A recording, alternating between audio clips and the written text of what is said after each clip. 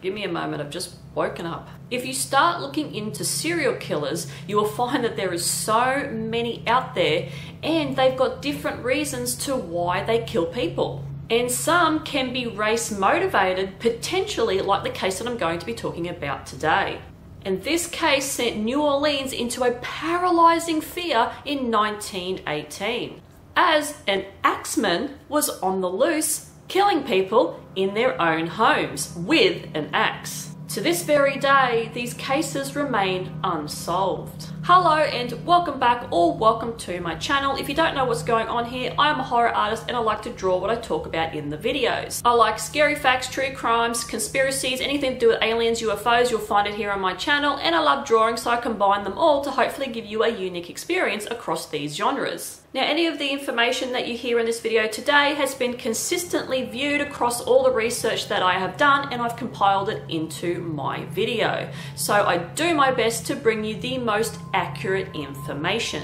Now I'm just going to quickly do some shameless self-promotion here. If you don't already know this, I actually have an Etsy store and I've had it for like over six years now where I actually make horror felt pattern toys so you can buy the pattern and actually make the toy. Now there is horror characters from movies. I've got my own creations of horror designs on there. Most recent is a evil Mr. Meeseeks, which is from Rick and Morty, so you can get that. He even has bendable arms. I have an Oogie Boogie smaller pattern. I actually have a pillow version on my site where you make it with a sewing machine, but I decided to make a smaller version. So anyone who just wants to make something out of felt, here it is. I also made Lock, Shock in Barrel, so you can buy these little guys in the pattern and make them yourself. And I made some cursed Teletubbies.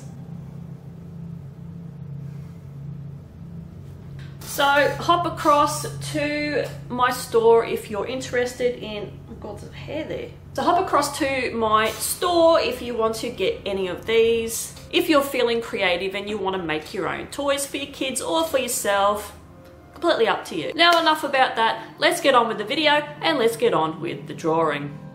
By August 1918, the Italian immigrant community in New Orleans, Louisiana, were completely terrified. The husbands in the households were staying up all night just to protect their families, just in case the Axemen happened to target them.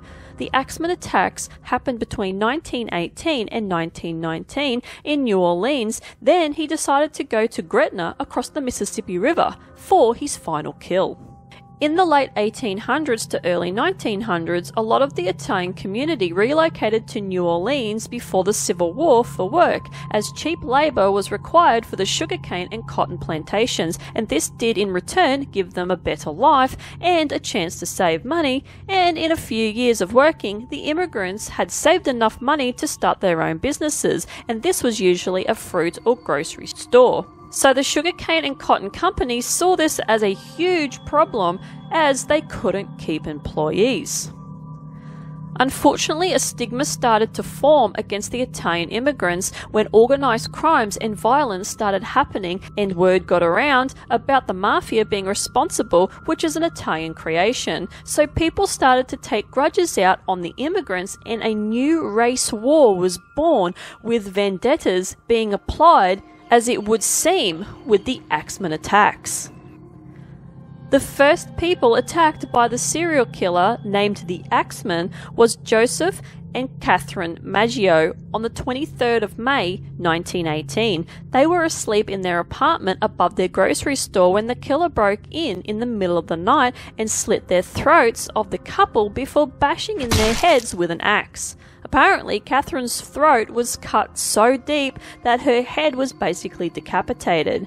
When the authorities turned up to investigate, they found the killer's clothes covered in blood in the couple's apartment, as it appeared that he just changed into clean clothes to hide the evidence when he left. No money or valuables were stolen, so it did not appear to be a robbery, but the killer had written a message with chalk near the couple's home that said, Mrs. Joseph Maggio will sit up tonight just like Mrs. Tony. The axe was then found in the bathtub. The Mrs. Tony reference was speculated to be from a murder in 1912 of Tony Schiambra's wife, which they alleged that the axeman might have had something to do with. Tony's wife was always known to her customers as Mrs. Tony. It was later revealed that Catherine had died from suffocating on her own blood that filled her neck as it was being slit. The killings and attacks started to take on patterns. The killer would attack at night while the victim slept. He used a chisel at the back door to gain access to the properties and used an axe that was already located on the property he was entering. But the most disturbing trait to the crimes was the killer's taste for killing or attacking Italians with small businesses that usually dwelled above their stores. Roughly a month later, after the official first attack from the Axemen on the 27th of June 1918, Louis Besumer and his mistress Harriet Lowe were attacked with an axe in their apartment located at the back of their store. Once they did not open their store the next day, they were discovered laying in their blood, with Louis having axe wounds above his right temple and Harriet suffering axe marks to her left ear. Surprisingly, they both survived despite despite their severe injuries, but Harriet did suffer from being paralysed down her face, so she had surgery to correct this, but she died two days later. But before she died, she told police that she thinks Lewis did it, so he went to jail for nine months. On the 5th of August 1918, a third attack was done on a 28 year old, 8 months pregnant woman named Mary, who was the wife of Edward Schneider, who was working late when the attack happened while she was laying in bed. Edward got home just after midnight to find his wife's scalp cut open and her face unrecognizable from the amount of blood covering it. She too surprisingly survived and gave birth two days later to a healthy baby girl. It was found that the axe apparently wasn't used. She was attacked by her own bedside lamp. A few days later, on the 10th of August, another grocer who was elderly named Joseph Romano was attacked in his home, which he shared with his two nieces. He too was attacked with an axe to the head while he slept and was found by his nieces who heard the commotion. The nieces saw the man fleeing their property. Joseph survived initially and was able to walk to the ambulance that came for him, but he did die two days later due to severe head trauma. The nieces did, however, give a little bit of a description of the killer. He apparently was dark skinned, big built, and was dressed in black with a hat.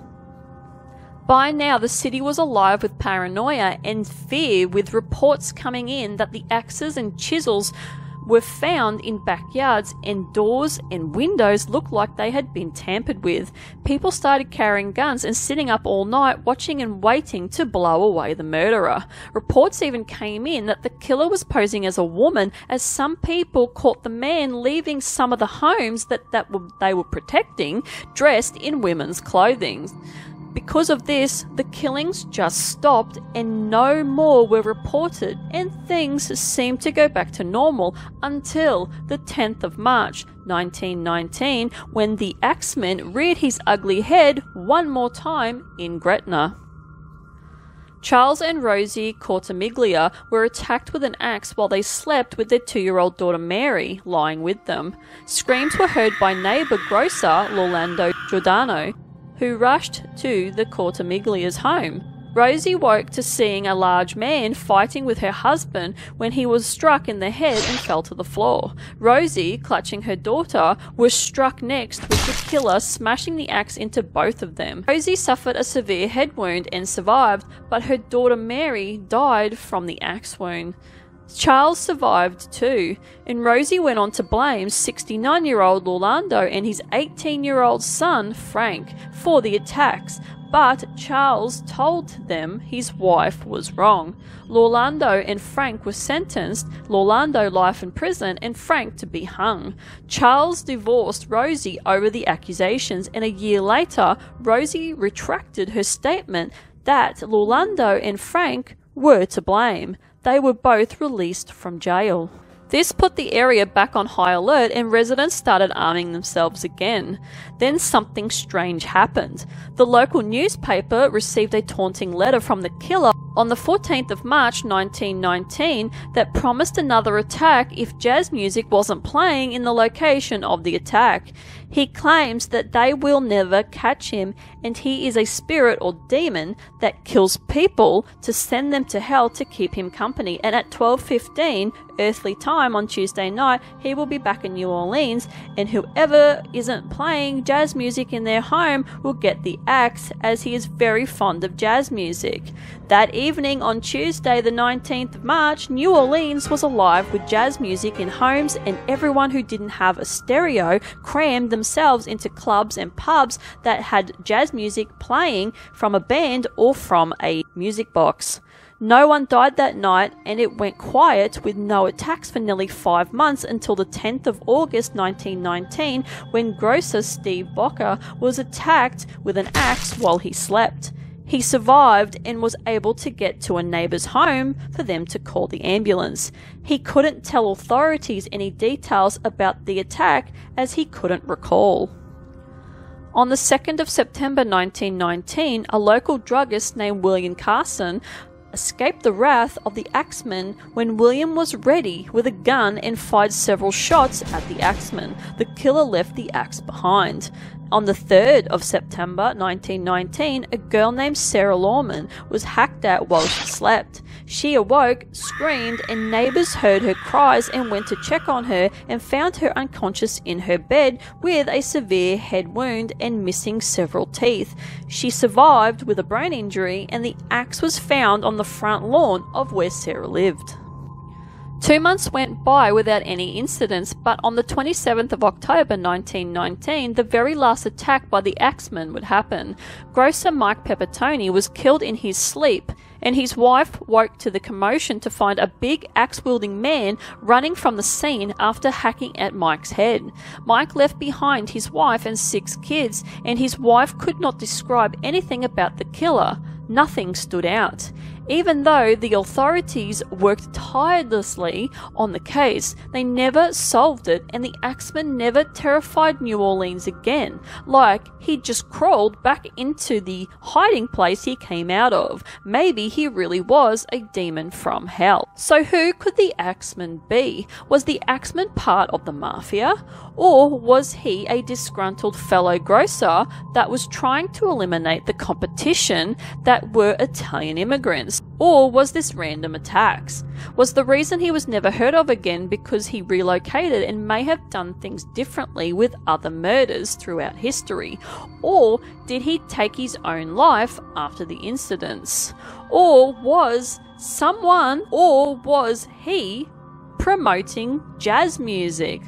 Because the article that was put into the newspaper, I'm pretty sure that I reckon that wasn't the killer. I reckon that was someone trying to promote jazz music at the time, trying to get it off the ground. One thing we do know is that whoever the killer was, he must have been stalking and interacting with the people he killed. And if an axe wasn't found, other objects were used. Allegedly, by most of the survivors, if a description of the killer was later remembered, they said that the killer was a white working class man around 30 years old. He was said by police to be an experienced burglar by his manner in which he did the break ins. They were very clever. There was even speculation that the killer had been killing for years since 1910 and 1911 as roughly 8 people in this time frame in Louisiana had been killed or attacked and survived by an axe wielding man. Even in 1920 to 1921, there were cases in Louisiana of four other people who suffered attacks by an axe. Now, the prime suspect ended up being a man named Joseph Mumfre, who went by other aliases as well. He was shot dead in 1920 by the widow of Mike Pepitone after she had remarried and relocated to Los Angeles. Joseph approached Mrs. Pepitone and asked her to hand over her money and jewelry, or he would kill her the same way he killed her husband. She shot him 11 times, but this story is said to be just a story, and no proof was ever really found of this happening. Now, let me know what you think about this case. Do you think any of these people that were mentioned would have been, maybe have been part of the murders? Do you think that one of them may have done it? Or do you think, you know, this was just something that was just a complete stranger, someone random, and they were just passing through and happened to stay in all New Orleans for a while and just wanted to kill people there and then just moved on? Just went other places and or, or, maybe died who knows it's definitely strange that these attacks only just happened in certain times and then they sort of never happened again, unless, like I said, he changed his tactics and did other types of killing. But the illustration that I decided to do for the video today is not my favorite, but it's just the image that I had for this story. I just want to do this creepy, weird person with these slits up his face, but they've been stitched together. It's kind of like he's hacked it himself and then had himself like stitched up and he's got axes. He's got an axe in his head. He's got there's an axe in a rock that he's putting his leg on because he's feeling pretty proud of himself for what he's done to people. He's got a big axe. He's got some small axes. He's got some medium-sized axes, and they're just covered in blood because it's just representing all the death that in in the attacks that this guy done. And yeah, I don't know who he is, but we're never going to find out because I'd say he is long dead by now because obviously he would have been an adult uh, back then, and it's been basically over a hundred years. So unless he was a demon, he ain't alive no more. So anyway, that is it from me. Hopefully you enjoyed this video. If you like this kind of content, like and subscribe. Dislike it, I really couldn't care less because any interaction helps the algorithm pick me up and find other people that would like this kind of content. And I will see you guys in the next one. Bye.